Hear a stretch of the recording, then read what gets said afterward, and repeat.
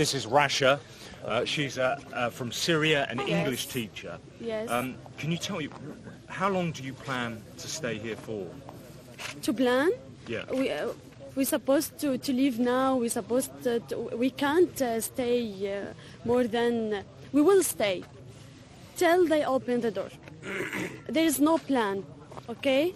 I'm shocked from uh, the the Hungarian police. Why? We just want to pass and go to any other safe country. That's what we want. Okay? To pass safely. So It's very cold here. It's very cold. We don't have clothes. We don't have tent. Uh, I have a kid. I don't know what will happen, but we will stay till they open. That's what we know. will you try and cross illegally? I know that's something that some people are considering doing now. Illegally? Yeah. I mean, our- illegally as in through the through the fence. No, no, no. How? There is no way. We want to pass. We want them to open the door, and all of us pass. Where did you you come from originally? You came from Syria or you Syria to Turkey. to, to Turkey? Okay, illegally to Turkey because we don't have Syrian passport. Okay, to Turkey, to Geek, NC, to Magdo, to FYROM, to uh, Serbia, and now here. All our trip is illegally.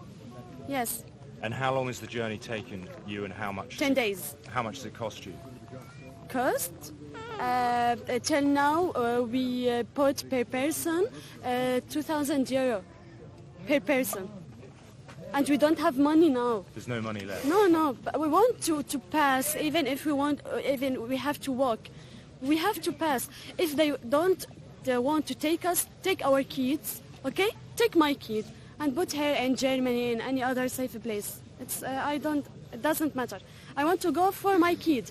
All of them wants to go for their kids, not for them themselves. Okay? Take our kids to Germany. No And you- problem. you and I will come back to Syria. I don't want uh, I, I, my right to live a safe life. I don't want this right. I want it for my kid to go to school. It's a simple right, yeah?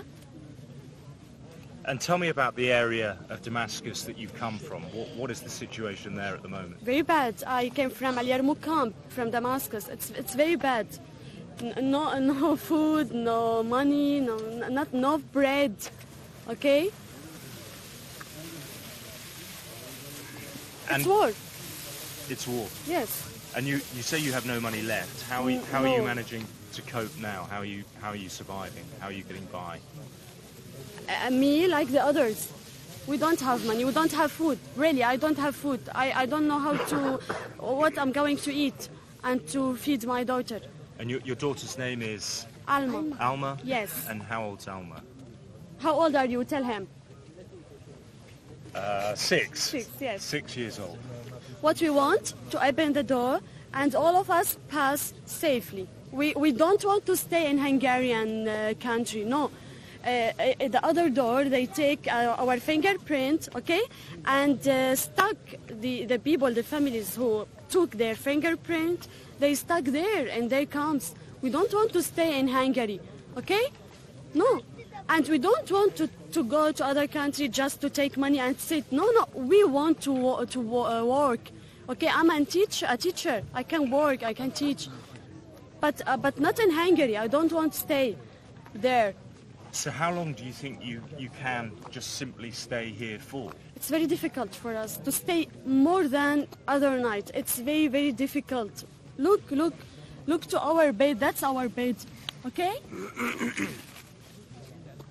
So it's very difficult for us. We want them to, to open the door quickly because we will die really. But we will stay. How many nights, how many days, I don't know. I really don't know.